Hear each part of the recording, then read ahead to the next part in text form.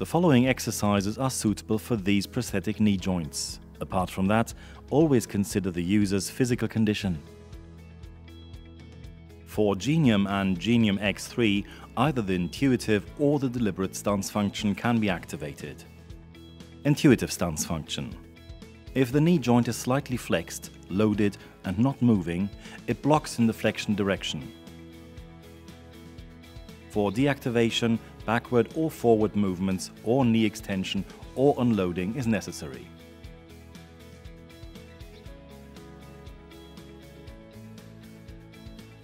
Deactivation due to unloading of the prosthesis.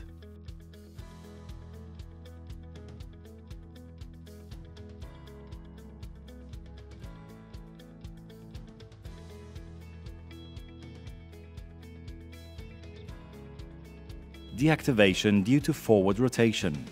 Start walking by simply stepping forward with the sound side and moving forward over the flexed knee joint. The knee joint will yield with smooth flexion resistance.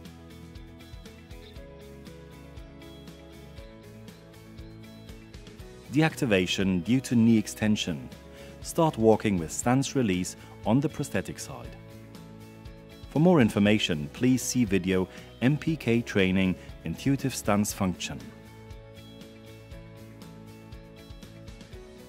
Franziska explains how to step down out of stance function.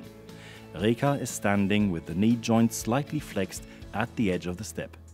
Stance function is present. As soon as she steps down and the knee rotates forward, intuitive stance function is immediately deactivated. Deliberate stance function is enabled by the orthopedic technician. It is more robust than the intuitive one. The deliberate stance function was mainly developed for bilateral users. For activation, the knee has to remain stable slightly longer. Even with forward and backward movement, the knee is blocked in the flexion direction. For deactivation, Reka has to extend the knee joint.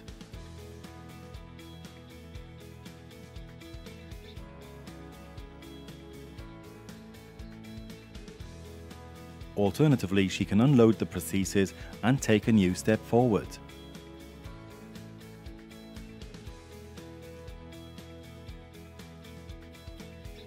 Taking a step down out of the deliberate stance function or taking a yielding step is not possible. Please remember to always unload or fully extend the prosthetic knee joint.